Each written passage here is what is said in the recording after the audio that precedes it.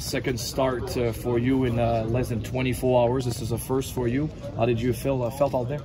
Yeah, it felt good. Um, it was a, it was a good uh, you know game to get into. Um, you know, playing late last night and then um, getting an early game today. It was the first time um, we've done that all year, and it was the first time getting back-to-back start. So um, yeah, I just tried to come ready and give the guys uh, a good opportunity to win, and um, yeah, try to do that.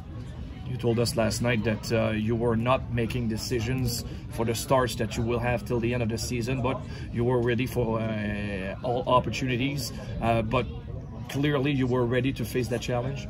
Yeah, uh, you gotta stay ready for when your name's called. Um, yeah, like I said, I don't make the decisions. Um, I just gotta stay ready. Um, and if uh, you know I'm not the one that's called on, uh, I gotta be ready and, and cheer on whoever's in the net. Um, it's a team uh, mentality, and um, yeah, I think that's what's gonna ultimately help us succeed uh, the final stretch here. If you want guys make the playoffs, you'll need to have some points on the road. Last trip was really tough, only one points out of ten. Now you're going back for five games again, so we need like at least five or six points or something like that.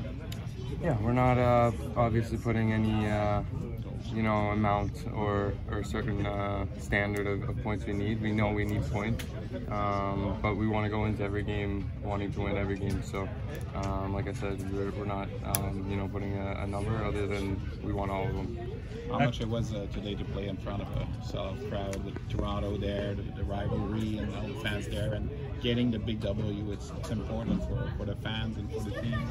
Yeah, I mean, they're they're the best. They're, it was a playoff atmosphere, so um, anytime you, you can pack the pack the rink like that, it, it's awesome. It's a lot of fun, but to, to play against a rivalry like that, it, it makes it even more uh, special, and more fun. With uh, with Carl and Evan not being there, uh, how did you find the, the defenders did in front of you? They did great. Um, you know, they left off right where um, they picked up right where they left off last night. Um, yeah, they uh, kept everything to the outside, took, made made a bunch of blocks. Um, not even just the defensemen, forwards as well. Um, back check was good. Um, we were disciplined. Uh, so yeah, everyone, everyone was clicking. Everyone was focused. Thank you, Cayden. Thank you.